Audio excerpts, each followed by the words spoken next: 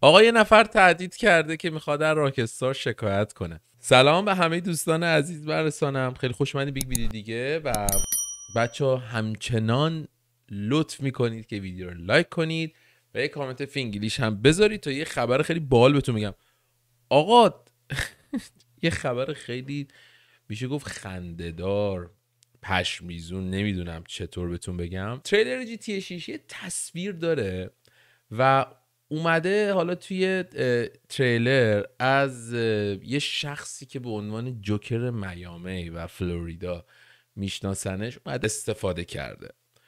و خب مثل اینکه این شخص کلا توی واقعیت خیلی شخص منفوریه خیلی شخص محبوبی نیست.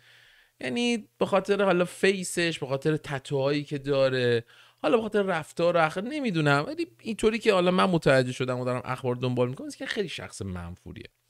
و خب این اول تصویر به این عین واقعه دارم میگم. اول تصویر خودش رو دیده داخل چیز؟ داخل این تریلر جی تی 6 بعد اومده گفته که آقا این تصویر من راکستا استفاده کرده. بعد یه سری افراد اومده کامنت گذاشت نه بابا این کجا توی؟ این شبیه توه.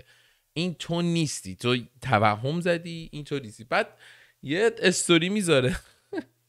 استوری می‌ذاره و میگه میگه نگاه کنین این منم. ببینین این تصویر منه اینم تصویری که راکستار استفاده ببین خود منم.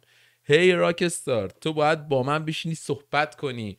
من از تو شکایت می‌کنم و مبلغ مبلغ دو میلیون دلار رو می‌خوام از تو به عنوان قرامت بگیرم که تو اومدی از تصویر من استفاده کردی. حالا کاری ندارم. بعد یه سری یه سری افراد توی صفحات مجازی خارجی ها اومدن حالا واکنش های خیلی خنددار نشوندن مثلا طرف اومده گفته گفته که نه آقا این مثلا حرفا چیه؟ راکستار کلا هزار تا وکیل داره می‌دونسته داره چی کار می‌کنه مطمئن باش. اگه یه درصد احتمال می‌داده که توی چلغوز مثلا می‌خواستی یه روزی از ما به خاطر مثلا استفاده از تصویرت شکایت بکنی که اصلا استفاده نمی‌کرده مطمئن باش تو رو قورت میدن.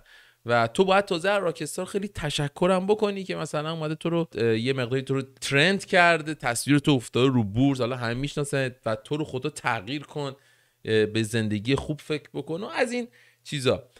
خیلی جالب بود و مطمئنم اگه این اتفاق توی ایران مثلا اتفاق میافتاد مثلا چه خیلی واکنش های خیلی عجیب غریبی داشت. یعنی مثلا نگاه کن چه آدم بی فرهنگ در بخوام بهتون بگم ببین یه سری چیزا این واقعا گوش کنید. یه سری چیزا مکان و موقعیت جغرافیایی و اینکه ما چه کشوری نمی‌شناسه. یعنی تو اگه قرار آدم مزخرفی باشی تو هر لباسی تو هر تیپی با هر فرهنگی تو آدم مزخرفی هستی.